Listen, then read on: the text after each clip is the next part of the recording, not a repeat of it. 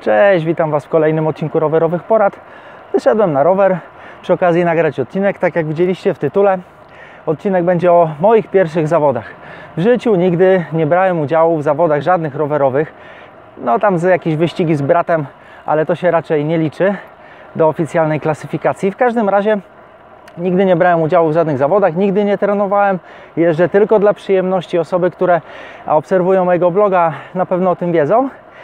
Ale dostałem zaproszenie na Bike Challenge w Poznaniu. Pomyślałem, kurczę, może by się wybrać, zobaczyć jak to wygląda i pokazać Wam przy okazji, jak takie zawody wyglądają od kuchni i pokazać Wam także mm, po prostu moje przemyślenia, czy w ogóle warto brać udział, czy nie warto. Tak jak mówię, ja nie trenuję, jeżdżę sobie dla przyjemności, nie mam żadnego planu treningowego, nie patrzę na moc, nie patrzę na kadencję. Czujnik kadencji kupiłem sobie tylko po to, żeby z ciekawości dowiedzieć się, jaką mam tą kadencję i przy okazji, żeby mieć e, materiał do nagrania też odcinka, który będzie niedługo. W każdym razie wybieram się na ten Bike Challenge, będę zdawał Wam relacje i oglądajcie.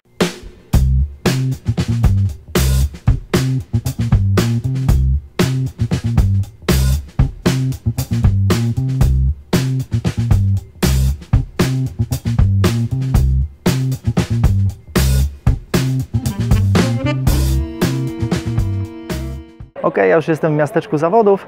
Jest naprawdę bardzo fajnie, masa ludzi na 50 km, z tego co kojarzę, startuje około 5000 osób, na 120 km 2000, a na krótki dystans 18 km, taki rodzinny, z tego co kojarzę 7000 ludzi, także masa, masa, naprawdę e, masa rowerzystów. Jest naprawdę gorąco, ze mnie się pot już leje, jeszcze nie zdążyłem ruszyć, ale to może z emocji przed startem.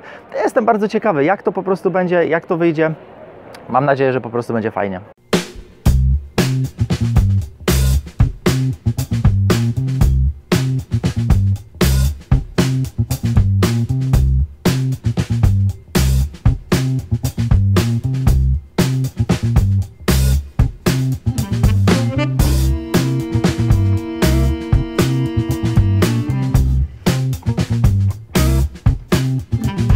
Ja już jestem po wszystkim, jest medal, udało się dojechać. Powiem Wam tak, startowałem sektora, który miał zakładaną średnią prędkość 25 na godzinę. Tak sobie zazwyczaj jeżdżę, więc z tego sobie lajtowo wystartowałem.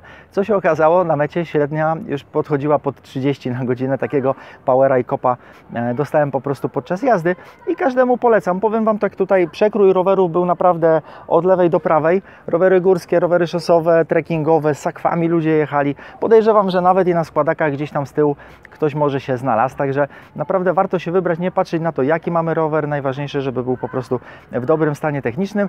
Jest naprawdę świetna zabawa, masa ludzi. Oczywiście ja pewne jakieś zastrzeżenia mam do ludzi, którzy tutaj jeżdżą. Ja byłem pierwszy raz, a i tak wiedziałem, że lewą stronę zostawia się raczej wolną, także tam kilka razy musiałem lewa wolna krzyknąć, żeby po prostu umożliwili mi e, wyprzedzanie ale y, zaraz niedługo ekipa na 120 rusza. Powiem Wam tak, jeżeli chcecie jechać nawet na 50, z ręką na sercu nie potrzeba do tego żadnego przygotowania, żadnego treningu, wystarczy po prostu sobie regularnie troszeczkę pojeździć i śmiało można, e, można się wybrać. Tutaj limit czasowy, z tego co pamiętam, był chyba 4,5 godziny, także każdy po prostu, każdy z każdą średnią prędkością jest w stanie e, taką trasę przejechać. Ok, także tak jak mówiłem, każdemu polecam. Masa emocji, masa endorfin, adrenaliny, pozytywnych emocji, bardzo fajnych ludzi również poznałem i przed startem. Podczas jazdy również żeśmy zamienili kilka słów kilkoma osobami, także na mecie. Także naprawdę fajna, naprawdę fajna impreza. Polecam, polecam wystartować, spróbować, zobaczyć jak to jest. Trzymajcie się, hej!